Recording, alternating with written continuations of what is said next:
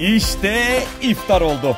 Şimdi kafalardaki tek soru bu fıstık gibi pideyi nasıl ezelim? Cevap basit. Çotanak fıstık ezmesiyle, çilekle, yaban mersiniyle, muzla.